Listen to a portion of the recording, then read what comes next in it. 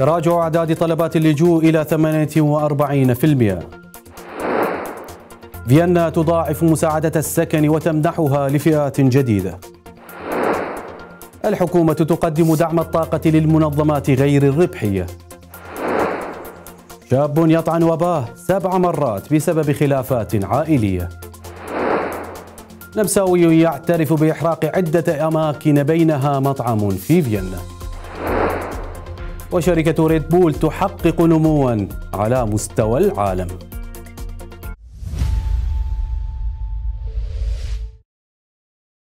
من النمسا ميديا أحييكم وأنقل لكم نشرة الأخبار لهذا اليوم. أظهرت بيانات وزارة الداخلية النمساوية أن عدد طلبات اللجوء في النمسا لعام 2023 قد انخفض بنسبة 48% لما يصل إلى 58 ألف طلب.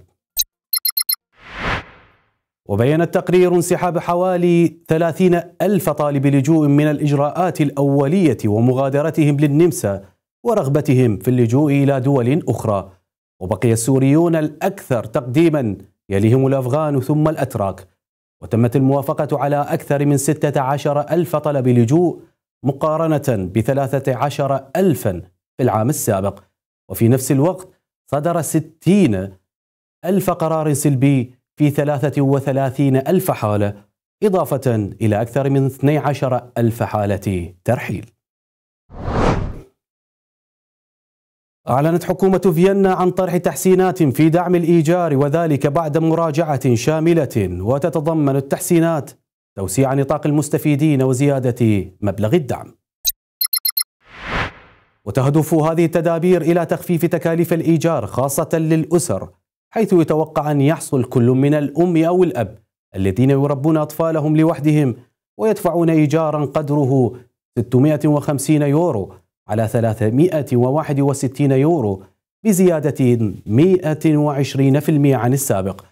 وتطبق هذه التغييرات اعتبارا من 1 مارس مع إطلاق دعم يخصص للذين يواجهون تهديدا فوريا بالفقر بينهم متلقي الحد الأدنى من الدخل.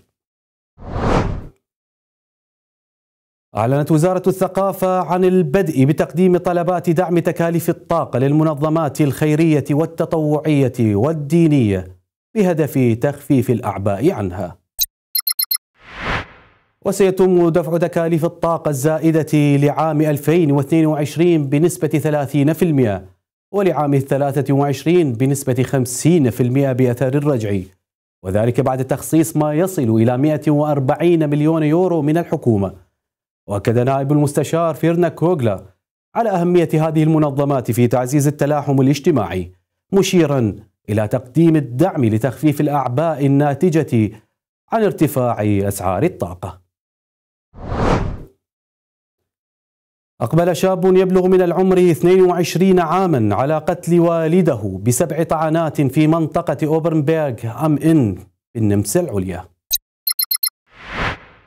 وكانت الخلافات العائلية قد اتسعت بينهم وانتهى النزاع بين الأب وابنه بمأساة حيث قام الابن بقتل والده البالغ من العمر 59 عاما. واعتقلت قوات الشرطة الكوبرا الابن واقتادته إلى الحجز.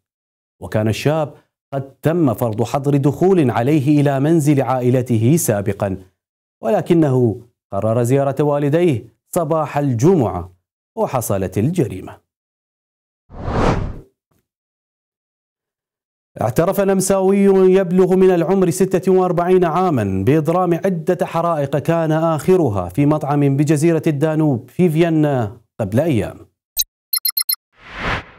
واعتقل الرجل لكونه مسؤولا عن حرائق أخرى في المنطقة يوم الأربعاء في كاكرانا بلاتس في منطقة دوناوشتاد في فيينا حيث حددت هوية المشتبه من خلال كاميرات المراقبة. وأقر النمساوي بتورطه أمام الشرطة ولكن دوافعه لا تزال غامضة. وتم ربط الرجل بحرائق أخرى في نفس المنطقة على جزيرة الدانوب في العامين الأخيرين. حققت شركة ريد بول لمشروبات الطاقة أرباحا قياسية في عام 2023 حيث ارتفعت إيراداتها بنسبة 9% لتصل إلى 10.56 مليار يورو. وتم بيع 12.14 مليار علبة من المشروب الشهير على مستوى العالم بارتفاع 4.8% عن العام السابق. ويعزى النجاح إلى تطور المبيعات وإدارة التكاليف الفعالة للشركة حيث تشير استراتيجية المستقبلية إلى التوسع في أسواق غرب أوروبا والولايات المتحدة وبلدان نامية وقد وصل عدد الموظفين فيها إلى ما يصل لثمانية عشر ألفا في 177 دولة بنهاية 2023